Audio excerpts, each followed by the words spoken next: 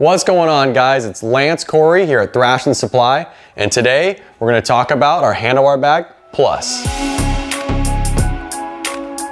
So when we designed this bag, we wanted something that was a little bit bigger than our OG handlebar bag. So we went with the dimensions of nine inches wide, five inches tall, and four inches deep. So one thing you might notice is the straps hanging from the bottom. These straps were designed to work hand in hand with our tool roll. They also work great with a windbreaker, a flannel. It's nice to have when you're on the road. But if you don't want to use it, take the straps off, set them aside for when you need them, and now you have our Handlebar Bag Plus. Let's dive deeper into this bag. We start out with a 1680 ballistic nylon UV treated material, and we pair the bag with high quality YKK zippers. You're gonna notice we have the front pouch that's microfiber lined and designed specifically for your sunglasses. We also have a slim pocket. I like to keep my registration in this pocket myself. Then let's get inside of the bag. You're gonna notice a high vis interior and four pockets to keep your goods organized. Now let's head over to the back side of this bag. You're gonna notice the horizontal webbing as well as lateral webbing. They work directly with the four supplied Velcro straps. You can use these to mount this bag to your bike, to your risers, to your handlebars, or anywhere you please. All right, let's head outside and I'm gonna show you how I mount this on the bike. All right, so we're outside and I'm standing behind Juan's Dyna. Now I actually just took this handlebar bag plus off his bike. He had it on the front of his bike, but I'm gonna show you where I would put it so that all my goods are within reach when I'm sitting on it.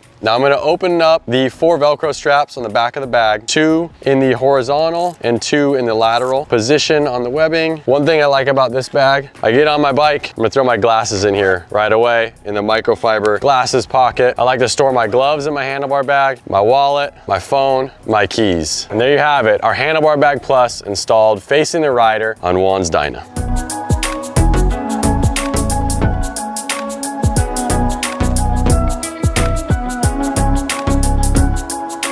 Thank you guys so much for checking out this video of our Handlebar Bag Plus. Grab yours today at thrashinsupply.com or your local dealer.